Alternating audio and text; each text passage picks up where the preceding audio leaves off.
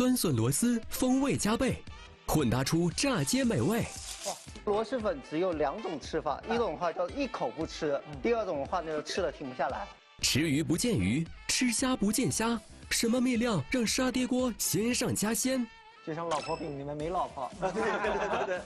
微凉的初秋，来个清荤小暖锅，满足你的胃，照料你的身体，温暖你的心。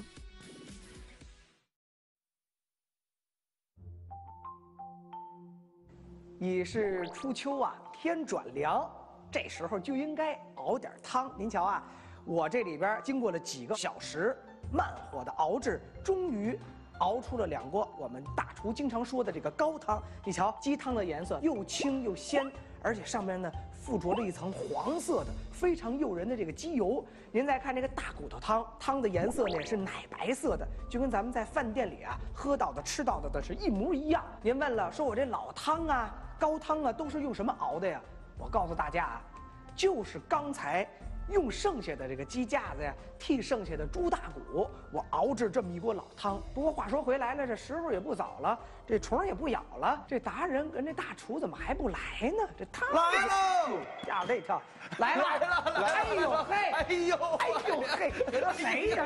这是老熟人了，这真是太好了。他叫什么来着？忘了这个。今儿这达人和大厨都来了，大伙儿一看都不是陌生人，没错，是不是？那这么办，先从您们开始给大伙儿介绍介绍。大家好，我叫石永强，以前我们也来过。今天的话呢，我给大家做一个我们广西的特色菜。这个大伙儿就甭提了，都是我们回家吃饭的老朋友、好朋友，非常有名的一位大厨。他的名字呢叫做这个。初秋，你看我就知道 肯定给我带钩儿去。大家好，幸福大厨夏天我又来了。夏天做的菜，我就知道大家一定都特别喜欢吃。但是呢，我们说了，一到初秋，我又加上这锅老汤，我就想，今天咱们在厨房里来什么呀？就是初秋的这种啊，清荤的小暖锅。嗯。就是荤，就像我这汤一样，不能说那么多肉。没错，我有句老话说得好嘛，叫秋冬进补，来一年打虎。但是现在这个时间段呢，还有一点点的热，因为余热啊，咱们就只是适合那种温和的这种把饮食的浓度调整上去。哎，对对对对对。所以您对这个清荤小暖锅有点什么想法了吗？用我们广西的螺蛳粉的料。做一个清荤的小火锅，这个螺蛳粉呢是现在应该说网红食品，没错。但是一般的朋友就是初到广西，到南宁啊，到柳州，第一次闻到这种广西的粉的这味道是是不行的，没错。那个螺蛳粉只有两种吃法，一种的话叫一口不吃，第二种的话呢吃了停不下来。就是一种是一口不吃，一种是一口不剩。这两锅汤您是打算用我哪锅呀？用骨头的啊，猪骨汤。对，好。这边的话呢，我们先是要把这个香料啊这些全部炒一下。好，我在这儿啊问小石一个非常专业的问题。好嘞。广西的螺蛳粉，嗯刚才你也读成叫螺蛳粉。哦，我们南方人经常被歧视，对不对？没有没有没有没有没有，那不是，这地域文化很好。它真正的汤底应该是什么汤？螺蛳粉，螺蛳粉的话，那你一定得有螺蛳啊，比如说像。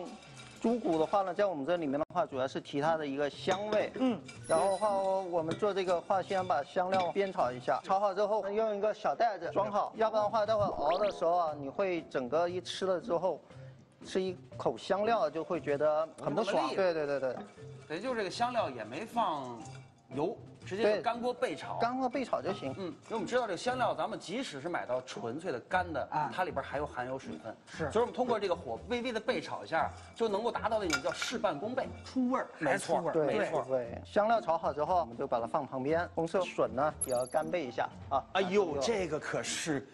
广西的味道的灵魂，真的是这样。但这个现在不是酸笋吧？酸笋是酸笋啊。对，印象当中那酸笋都是特别深的颜色，这怎么这么白呀？酸笋的颜色就是这样，它是经过了自然发酵以后那种酸香味。真正好的酸笋的话，其实发酵起来是很简单的。就是笋切丝，嗯，加上白水，盖上盖焖四十五天以上。在当地有些时候使那个井水，拿那个井水去去做好这个酸笋，那个味道更独特。我们一回家之后，画的第一个想念的味道就是这个酸笋。的确是，把它的水稍微这种焙干一些，吃了话口感会脆。嗯。第二个的话呢，就是它的一个香味啊会出来。被炒完以后，它的那个它那个味道已经发生变化了，就是这个笋它的已经出现那种熟化。现在的话，我们要把这个螺丝也炒一下，也是干炒，什么都不放，因为螺丝这种水产品嘛，你剪完之后会比较多的那种水。对，把它干炒一下的话呢，也是让它的香味出来。好，咱们一般理解这个螺丝，它也是这个有一种非常浓郁的那种腥臭味儿，酸酸笋也是这种味道。对他们把这两种味道就变成了一种负负得正，嗯，而且是好几倍的那种鲜香味道。对，而且我们说今天说这个清荤小暖锅，暖的是这个心，暖的是胃，但是味蕾上来讲，得符合各地域朋友的这个审美，对对吧没？错哎，稍微炒干一点就行了。可以了。然后的话，把它盛出来备用。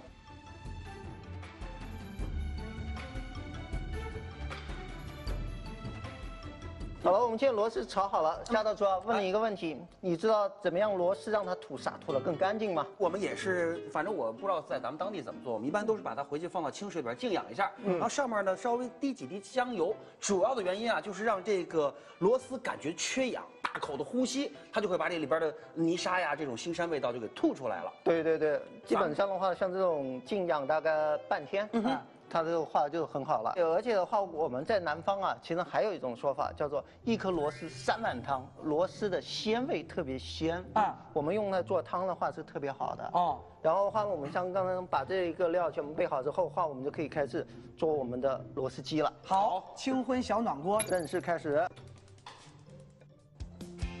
好嘞，再来一点点，够了吗？够了。好，这时候呢，我们在锅热了之后，你看啊，他拿到了这个小葱段儿，然后这姜呢是拍出来的，全是大块大段儿的，还有整蒜，是吧？对为什么要这么放？这次不是熬汤吗？哦就要你就要放了这些东西全部要剪出来的。哦要不然的话，你弄得那么小细的话，你最后不好弄啊。哦，食其味，不见其形。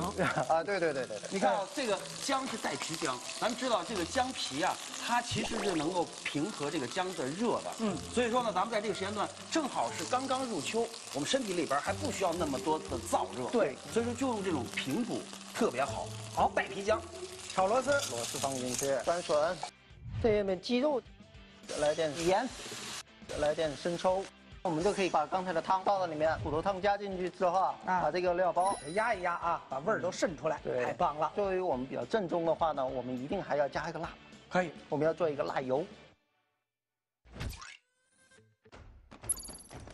做一个辣油是吧？对，做一个辣油。首先把油温的话，大概烧到两百四十度，两百一到两百四十度左右就行了。这个温度我是二百四十度到二百六十度之间，我是拿捏这温度最准的了啊，因为我是二百五，因为我是二百五。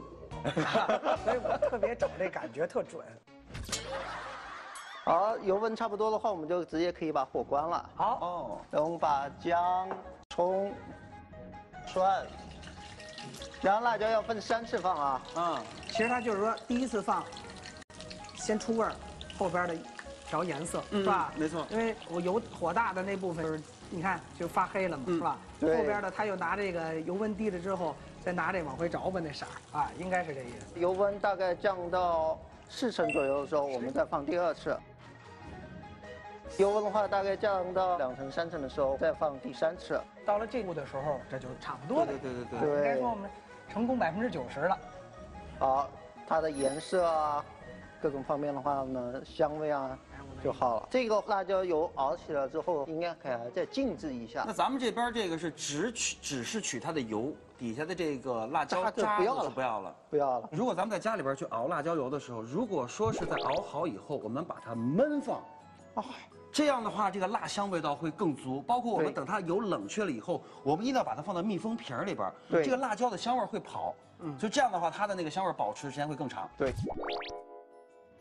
根据自己的口味，自己加一点红油。好，够了，够了，够了。然后暖锅嘛，就是这样的。这个作为我们一个锅底，想吃什么就可以涮一点什么进去。明白。哦，对，可以先加点鱼丸。然后这个火锅烫菜的时候，还有一个小小的一个小窍门呢。我们首先要烫荤的，然后可以烫菇类或者说烫那个豆腐类的东西。最后青菜类的话呢，我们是最后吃的时候再放。因为的话，如果说你青菜的话呢，一刚开始放的话，就会把整个锅的这种鲜味给破坏掉。没错。可以了，我们盛出来。尝尝吧，赶快。对，尝尝吧，赶快。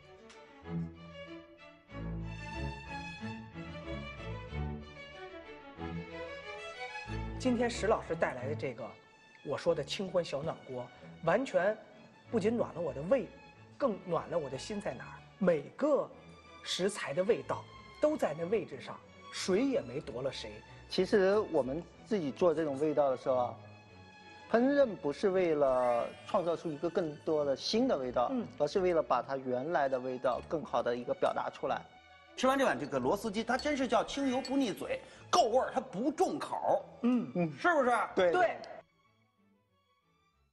鲜味科学知识竞赛现开赛，关注太太乐公众号了解详情，收获鲜美生活。螺丝鸡小暖锅的，首先把干辣椒、八角、沙姜、丁香、桂皮、草果等香料炒干后，放入小袋中备用。螺丝炒干备用，酸笋也备干。锅中下底油，爆香葱姜蒜，放螺丝、酸笋、鸡块，煸炒出香味，放入骨头汤和炒好的干料包，煮半个小时。可以根据自己的口味加入红油调味，加入涮锅的食材即可。给您画一个重点，螺蛳和酸笋一定要备干水分，味道才更加浓郁。我们今天就用这么一个，我可以说是一菜两吃，咱们可以当酱料，而且还可以去涮火锅，做一下那就是香味儿永流传。我觉得今天清荤小暖锅的这个主打的螺丝机特别成功，正式写入我们回家吃饭这个点。将来呢，已被查验，就是按照目录检索。清婚温暖的时候，螺丝机放第一个，嗯好吗？啊，哎哎哎哎，为什？么放第一个呀？因为就就一个呀。我还没做呢。哦，您坐坐，您就对坐。我这儿还有个小暖锅呢哎，。就怎么做呀？咱们来个洋气的，啊，挺洋气的。来一个沙爹小暖锅怎么样？行，来吧来吧，开始吧来吧。咱们说这个沙爹啊，它其实是我们一个东南亚的一个特别有名的一个味道。嗯沙爹呢，它有两种意思，一个是穿成串儿的肉串儿，然后这是最早的称呼啊。然后咱们也有一些叫复合酱料，就像咖喱那种意思一样。然后但是呢，有很多咱们去南洋的这些咱们的。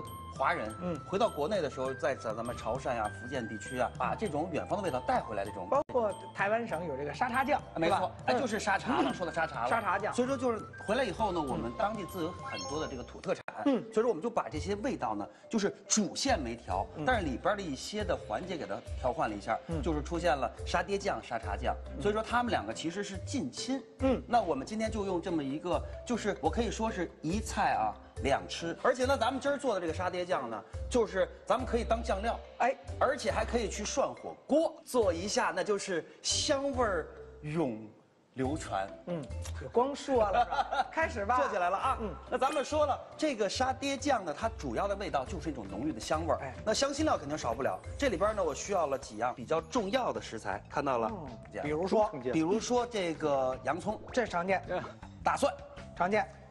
黄姜这黄姜就北方来讲就不常见了啊啊。。那咱们另外一个呢，就是南姜，南姜、对，南方的姜，咱们也称它为良姜。良姜，哎哎，味道确实不一样。嗯，那咱们把这些料呢，再加上小干葱头，咱们先做一个香辛料的一个有了洋葱，还得加这小葱头。小干葱，小干葱呢，它主要是出甜味儿，把这个小干葱给它去了表皮。好了，那咱们把这个香辛料呢，咱们给它先准备好了以后，好嘞，打碎它。好，因为这个香辛料它相对来说比较多，我们要把它化整为零。洋葱、干葱、蒜头、黄姜、南姜，给它放到这个碗里边啊，直接打碎。这样的话，它更加容易后期出味儿。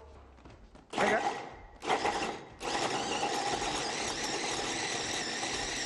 我要打成沫沫。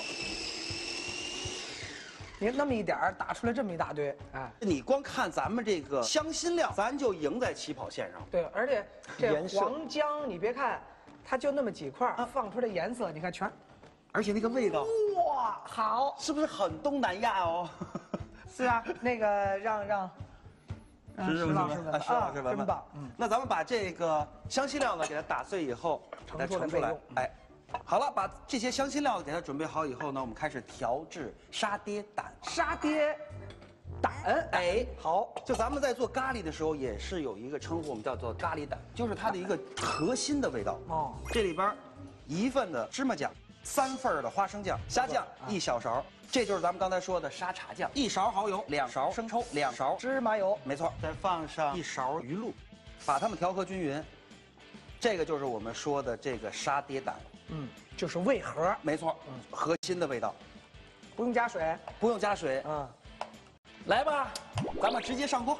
好，好嘞，好，锅里边先放油，相对来说啊，油多一点儿。第一个下的是海米碎，把这个海米啊，给它放到这个水里边，凉水里边清洗浸泡一下，然后呢，把它们再剁成沫儿。放到锅里边给它煎炸一下。那其实我们今天分享的这个沙爹酱啊，它是我把这个咱们的东南亚的这个沙爹，嗯，和我们中国南方的这个沙茶进行了一个融合，就是一个小融合。那下到沙茶，你们到底有没有茶叶？没茶，但是它这个真的是就像是，你就说到新加坡，咱们吃这个肉骨茶，这里边就是没有茶没有茶但是它煲出来那个汤色有一点点像那个茶汤一样。哦，就像老婆饼里面没老婆。啊，对对对对对。好，那咱们这个海米呢，在锅里边给它微微的煎渍，就是出香就可以了。好接下来就咱们这个香辛料，哎呦，太棒了！直接一锅来，仔细看看吧，放这么多啊，我，全放进去了，全放进去没有问题。天哪！出味儿出香。这个咱们今儿炒完以后啊，把它舀出来，一会儿打薄一片儿回去。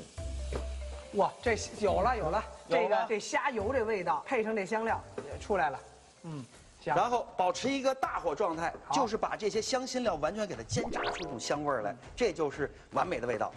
东南亚的味道。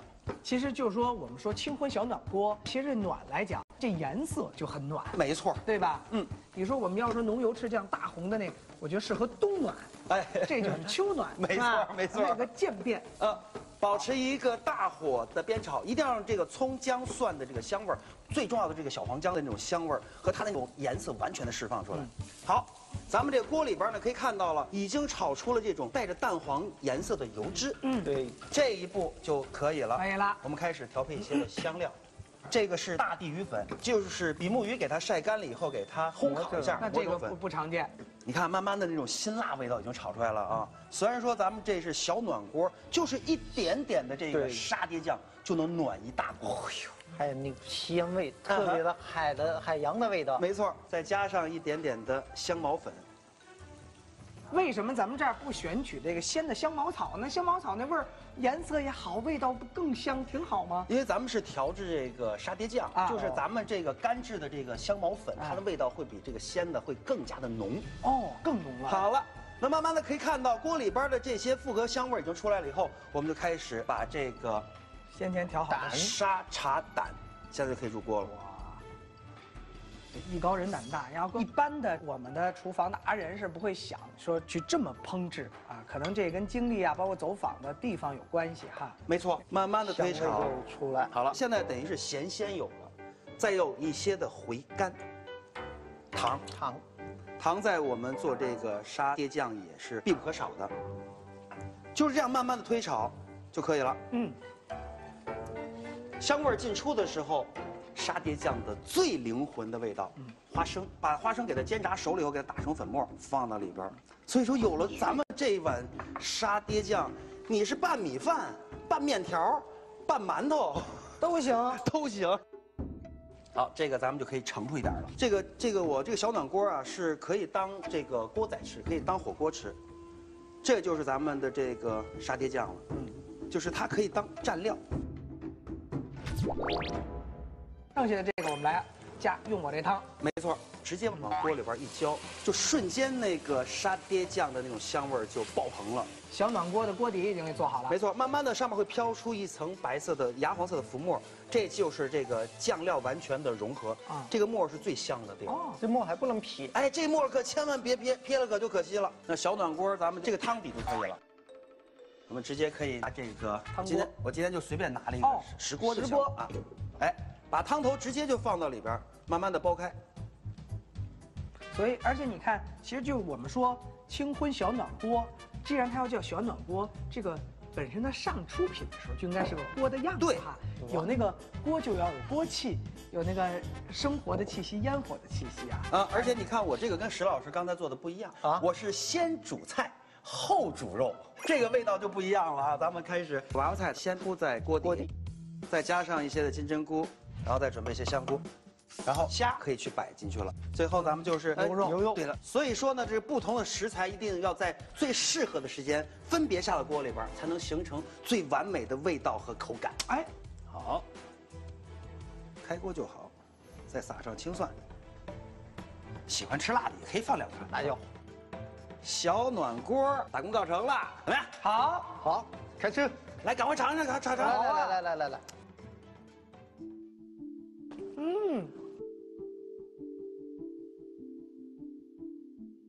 我今天呢要求清荤小暖锅，首先我说夏大厨，他真的做到了。我们认识这么多年，他是一次一次颠覆着味道的巅峰，真的颠覆了我们对首先对传统沙爹，因为传统沙爹味相对来讲厚重咸，今天呢。是真正做到了清荤，清荤就是清香鲜，哎啊，厚重咸和清香鲜之间，大家区别是晓得的。第二就是丰俭由人，就像刚才那个一样，一个人吃也行，一堆朋友吃也行，味道与味道之间完全不会影响，而且它的烹饪方法，先煮菜，先煮那些易熟的，后煮肉，完全保证了肉质最大程度的鲜美，虾的那个鲜香。沙爹小暖锅，洋葱、小干葱、大蒜、黄姜、良姜搅碎备用，将芝麻酱、花生酱、虾酱、沙茶酱、蚝油、生抽、香油、鱼露充分混合成酱胆备用。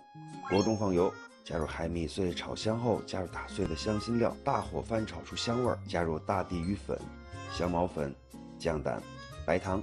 花生碎炒匀，在锅中放入炒好的沙爹酱，倒入鸡骨汤煮沸后，加入娃娃菜、金针菇、香菇、虾、牛肉，撒上青蒜，沙爹小暖锅就做好了。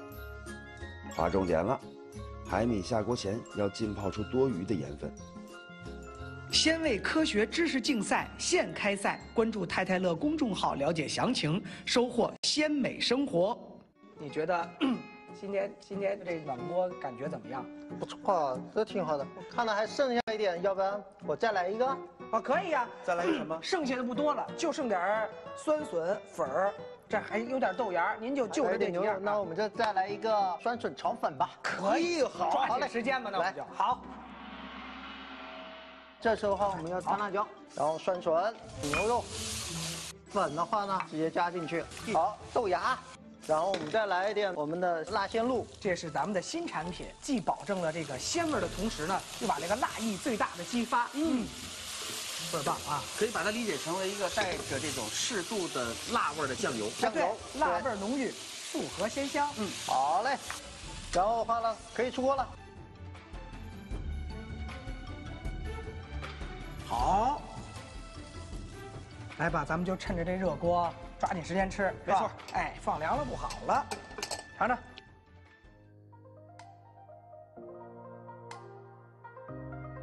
加了这辣鲜露，那真是辣味儿浓郁，鲜香爽口啊！没错好吃。今天咱先做了这个清荤的小暖锅啊，有我们广西的螺丝鸡小暖锅，还有夏大厨寻味南洋获得的这个沙爹小暖锅锅。我觉得这个暖锅在这个初秋天转凉的季节呢，吃起来是真的暖心又暖胃，再加上我们广西地道的清荤酸笋小炒粉呐、让这个初秋的季节感觉就那么温暖，就那么美好，也打开了我们的味蕾。希望大家呢时时刻刻都能够用这种酸笋的味道提醒着自己保持清醒，然后在这个初秋的季节倍加的珍惜，然后更加的有斗志，更加有力量投入到新的生活当中去。还得最后再反复提醒大家一会儿啊，就餐的时候千万还要保持好人与人之间的距离啊。